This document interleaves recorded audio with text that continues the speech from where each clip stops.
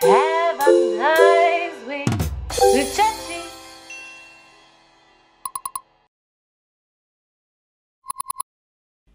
Quante volte proviamo qualcosa per la prima volta in assoluto e va tutto un disastro? A volte anche la seconda o la terza. A me capita spesso in cucina, devo dire la verità. Mi ho dimenticato un'altra volta, mi sono dimenticato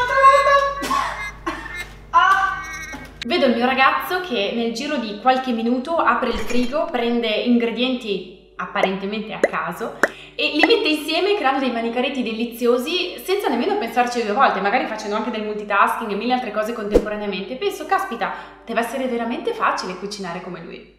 Questa è la fatidica fase in cui siamo inconsapevolmente incompetenti. In altre parole, sappiamo di non saper fare una cosa, ma non abbiamo idea di quante cose davvero non sappiamo.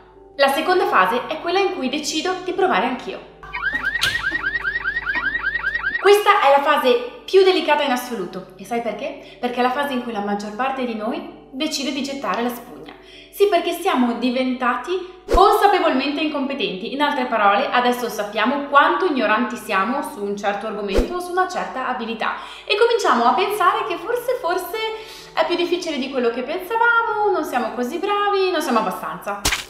Il problema è proprio questo, che se gettiamo la spugna in questo preciso istante, in questo secondo momento nella fase di apprendimento, ci precludiamo ogni possibilità di migliorare. E non lo dico certo io, lo dice la scienza. In questa fase infatti la mielina, ossia la sostanza che protegge i neuroni consentendo um, agli impulsi nervosi di trasmettersi più fluidamente, viene ad essere prodotta 10 volte più velocemente, con un impatto inevitabile sulla nostra capacità di apprendere una nuova abilità. Ecco allora qualcosa che non ci dice nessuno, e ciò che il punto di massima frustrazione quando stiamo cercando di imparare qualcosa di nuovo è in realtà il momento più prezioso in assoluto perché davvero possiamo diventare dei maestri, se continuiamo a fare pratica, in quell'abilità.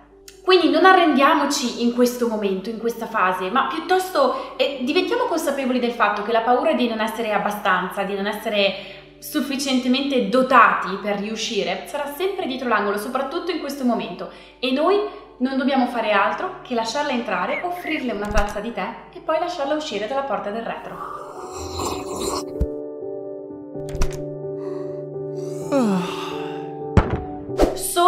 Se resistiamo a questa fase abbiamo la possibilità di passare a quella successiva, che è la fase in cui diventiamo consapevolmente competenti. In altre parole, ancora non ci viene tutto naturale come vorremmo, ad esempio ancora non riesco ad aprire il frigo e così, uh, mentre faccio altre mille cose, riuscire a creare dei manicaretti come il mio ragazzo, però quello che posso riuscire a fare è cucinare qualcosa di commestibile, anche se devo ancora fare uno sforzo mentale notevole per ricordare e decidere che cosa mettere dentro la pentola. Piano piano, se proseguiamo con la pratica, questa abilità che abbiamo scelto di imparare diventerà così fluida e naturale da consentirci di farlo ad occhi chiusi, un po' come quando guidiamo la macchina e per fortuna non è che dobbiamo sempre reimparare o pensare a quando schiacciare il freno, l'acceleratore o la frizione.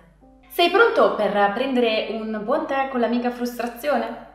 Allora condividi qui sotto il video un'abilità che hai provato ad apprendere una volta nella tua vita e che ti sarebbe tanto piaciuto imparare, ma che hai lasciato perdere perché pensavi di non essere portato, di non essere dotato e di non essere abbastanza bravo per riuscirci. La domanda non è tanto se abbiamo fallito, ma è se ci siamo arresi al primo tentativo, o al secondo, o al terzo.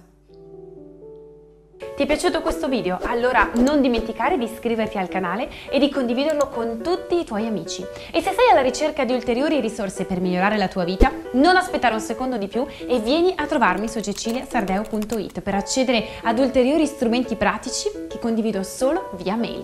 Fino al prossimo episodio, un grandissimo abbraccio di luce.